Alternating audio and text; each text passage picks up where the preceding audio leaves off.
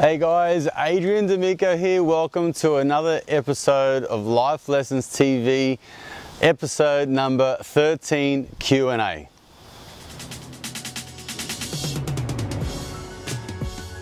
So Life Lessons TV, look, it's going to be sort of, I think, a little bit edgy. I think it's going to be a little bit off the cuff. Um, I'm letting you know now that once I get excited about a topic, uh, I might swear a little bit. I might let uh, you know a couple of curses go. So it's one of those things where I think I just want things to be kind of real. Okay, welcome back. Uh, back up here in nature again. I love this place. Um, for those of you who are local to me, this place is called the Rhododendron Park and um, it's just a beautiful, peaceful surrounding. And um, I know it's in black and white, but um, it, it is just a beautiful place. Actually, you can't see this in camera right now, but there's just on the branch up here, there's a kookaburra looking at me up there and then just on the branch um, to the right of me is another kookaburra looking down. So I've got some, I've got an audience here today, uh, which is great. Anyway, I'm talking to you today with a, Q&A session. Uh, put a shout out on Facebook uh, last week for some questions.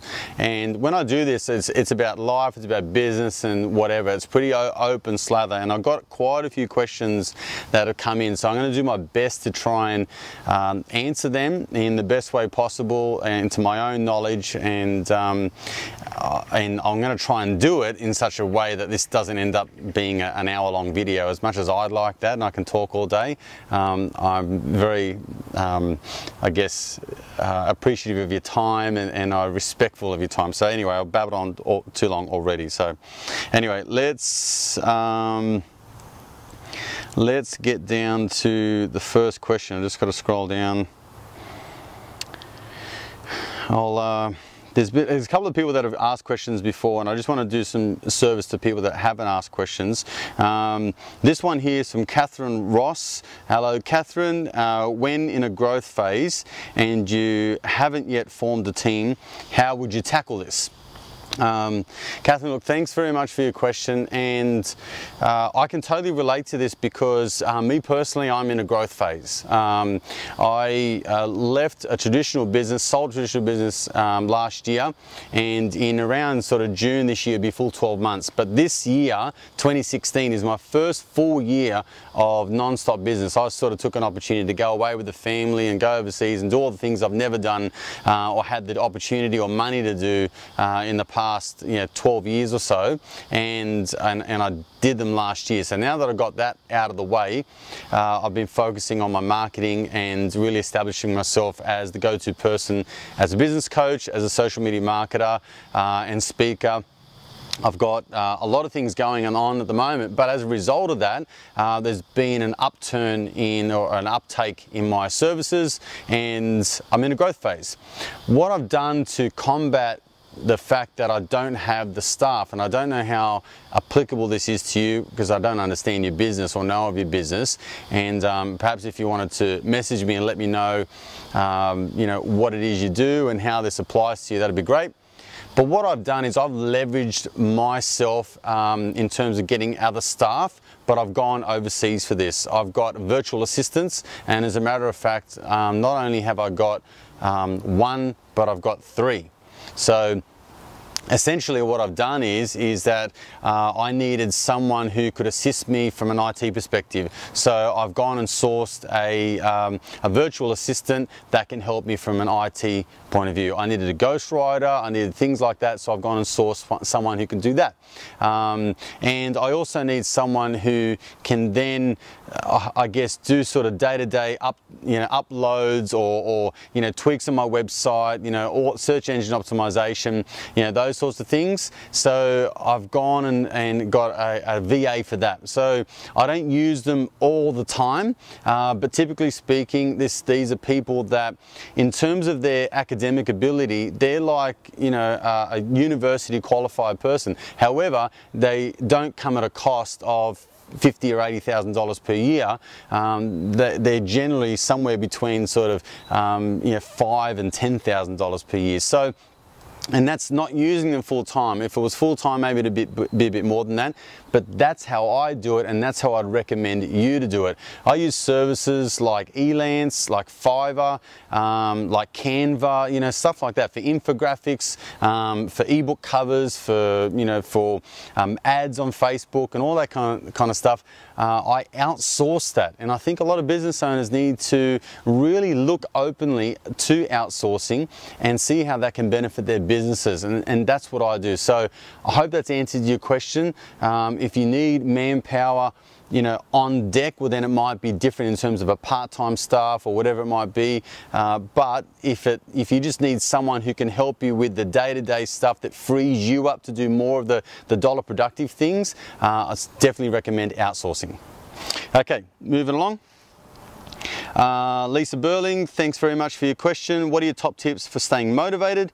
It can be hard to stay uh, pumped uh, all the time, especially with a small team um, looking uh, to you to keep the excitement levels up.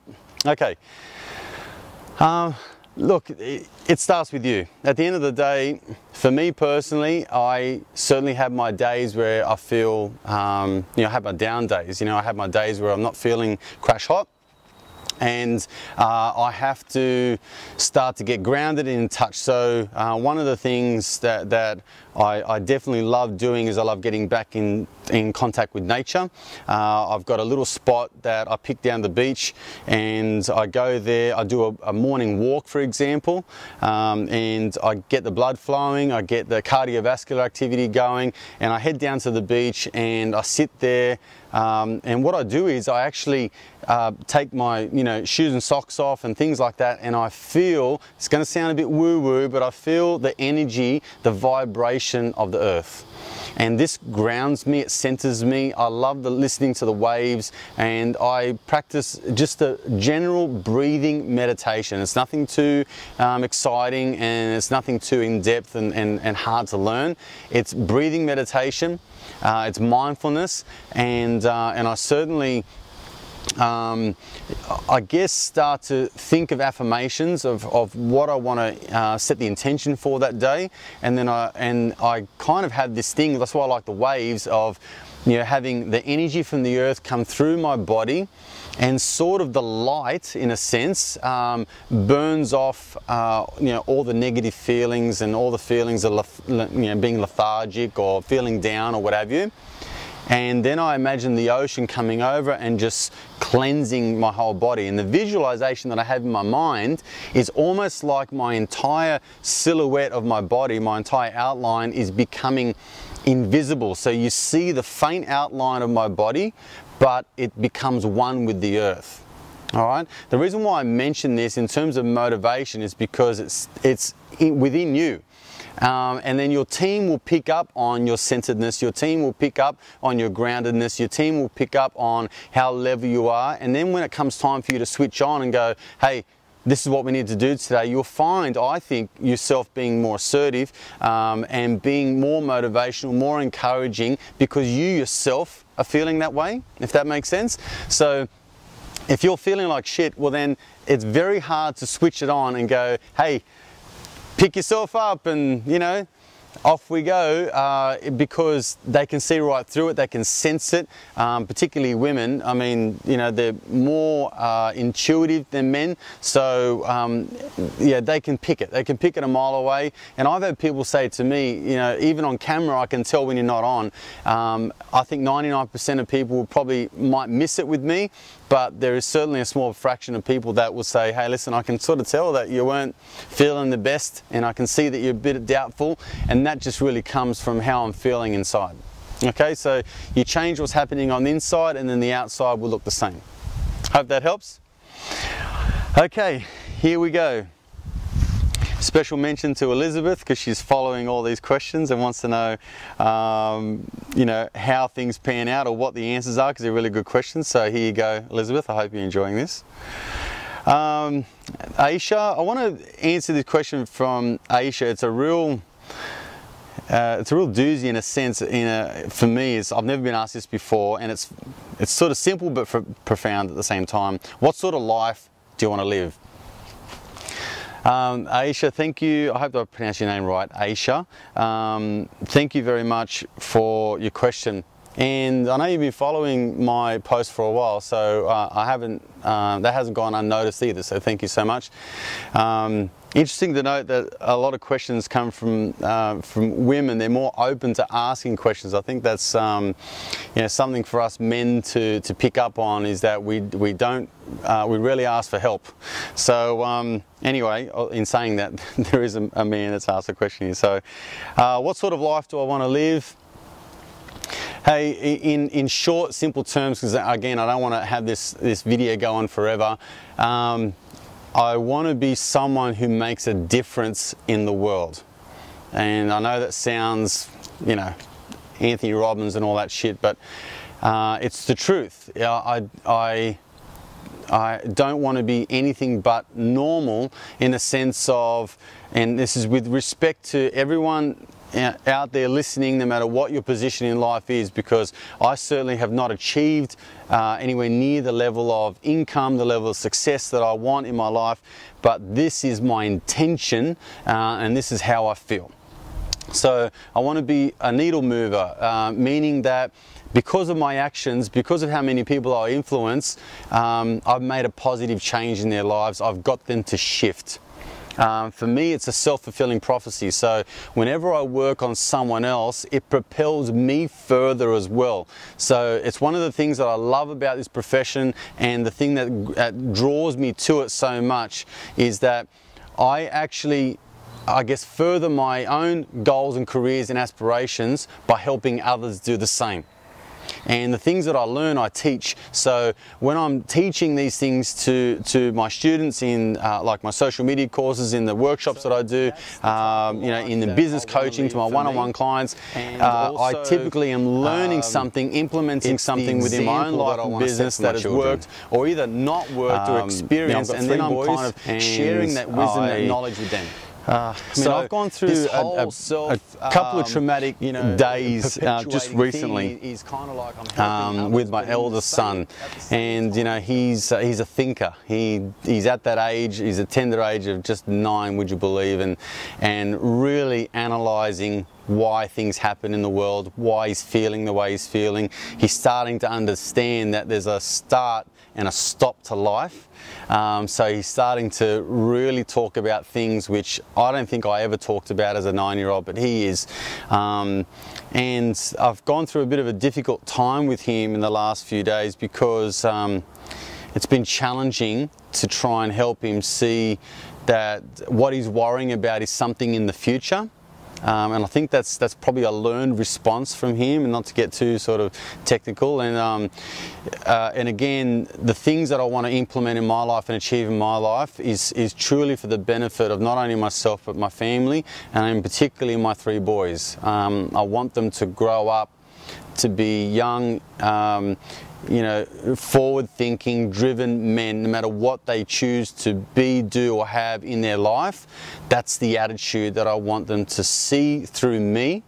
And I want them to understand that they too can set a goal and achieve it and be whatever they want in life because they haven't, um, they've witnessed it from their dad and what they're witnessing for me now, particularly like I said with my older boy, is he's saying, you know, I want to achieve things like you're achieving. He made me he made me laugh the other day. He said, I just don't think I've, I've accomplished so much in my life. And I said, well, you're nine. And he said, yeah, but you know, you've got your own YouTube channel. And I, you know, I just had to burst out laughing. It was it was a fucking serious moment, but at the same time, it was it was bloody funny. Um, so anyway, that's the life that I want to live. All right. Moving along, I have a question here from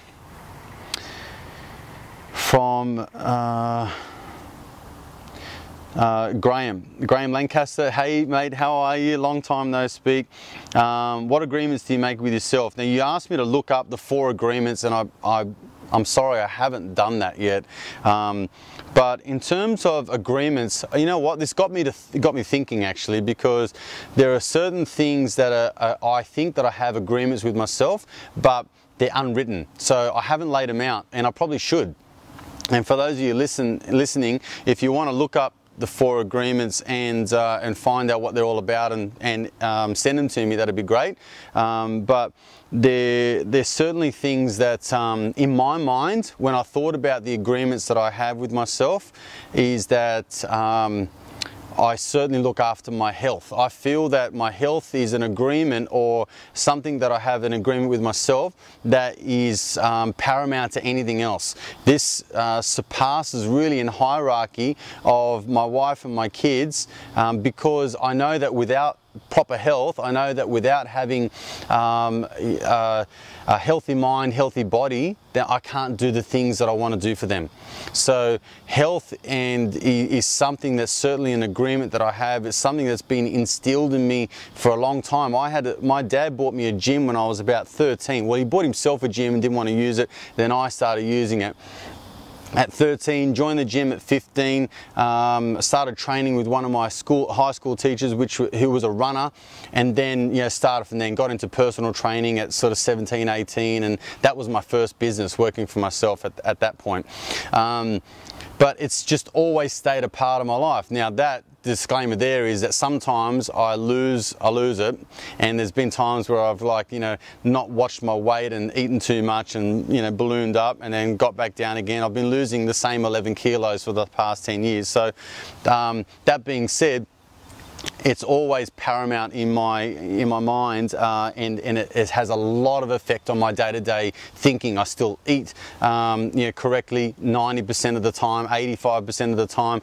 I work out three to five days per week and um, that's something I think that will always remain. And my running joke is I can't do much about this face but I can certainly improve the body. So um, you know, I couldn't really come up with four um, agreements, Graham, and, and, I think that that's something that I certainly need to work on. I thank you for the question. It's opened my mind up to a, to a couple of things, but um, the second one that I come up with is, is family, uh, because that certainly is something that I place a high priority on about family first. I teach my kids that, you know, not to, to treat each other with love, uh, love and respect, um, to treat their friends with love and respect, but mainly their family in a sense that the family is all you got um, you got, you know, they've got two brothers, you know, there's three of them, so they've got two brothers, and if I'm talking to one them saying, hey, these are your brothers for life, you know, look after them, be friends, treat them with love and respect because they're going to be with you day in, day out. And that comes from, uh, stems from a, a, fact that I've had a, a, broken family. You know, my parents split up um, when I was uh, 17, 18, and, uh, and, and my entire family fights at any one time. I've got that, you know, typical dysfunctional sort of family going on, and that's what I've experienced experienced and lived through my life is something that I definitely do not want for my kids. Um, and, and, and that in itself is, is, is a massive challenge for me. It's a massive challenge in this respect in terms of work, in terms of achievement, staying married. Um, and that's not from a fact, uh, from a case of, you know, doing the wrong thing. It's a case of there's so many things I want to achieve and, you know, to hold it all together is, um, is, is very, very tough. So anyway, Graham, thanks very much uh, for your question. Uh, one last one. I'm not sure how, how, we're going for time. This is probably heading more to around the 15, sort of 20 minute mark. But if I can just choose one other question, I've lost my place. Uh, bear with me.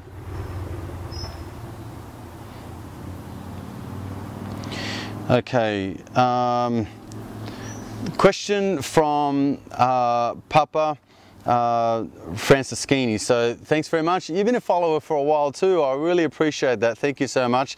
Um, you know, for those of you out there who haven't liked my fan page, like it, share it, um, I think it's, you know, uh, the rumours that I've heard is that it's one of the best pages out there. But um, don't take my word for it. You know, like it and see if you if you like the post on there. But anyway, Papa, you said uh, this actually ties in nicely what I was just saying. Do you have time for yourself and family, especially if you're running a business?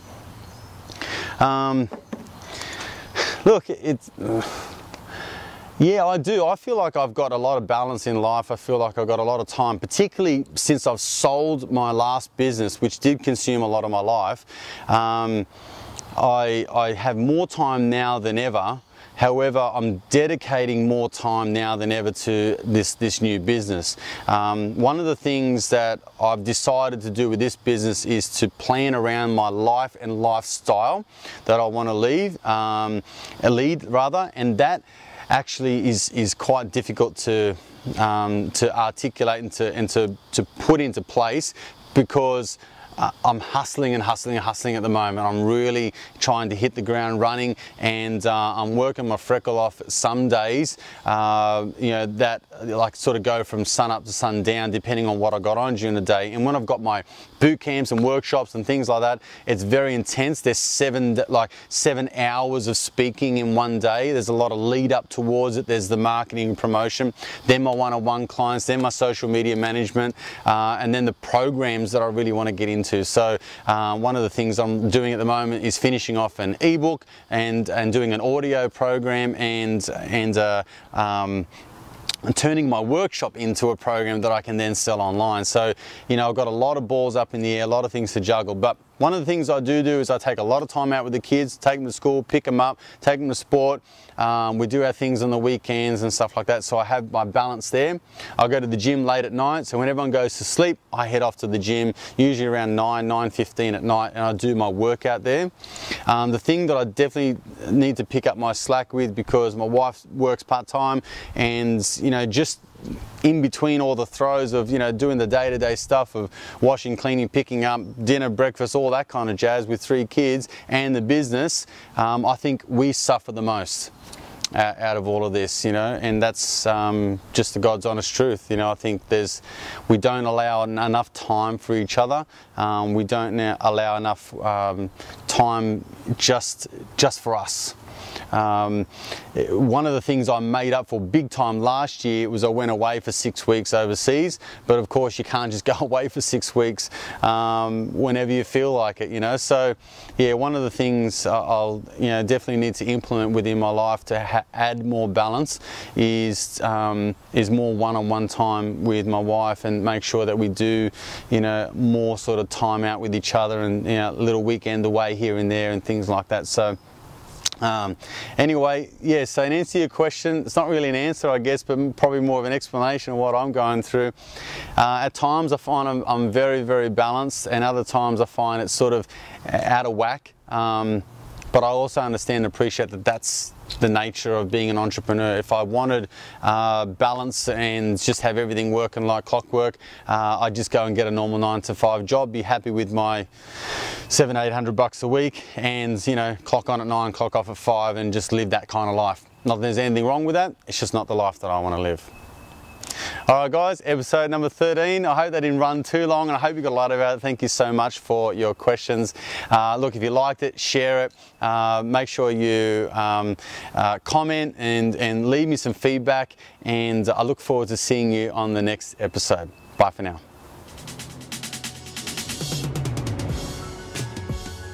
So, Life Lessons TV Look, it's going to be sort of, I think, a little bit edgy. I think it's going to be a little bit off the cuff. Um, I'm letting you know now that once I get excited about a topic, uh, I might swear a little bit. I might let uh, you know, a couple of curses go. So it's one of those things where I think I just want things to be kind of real.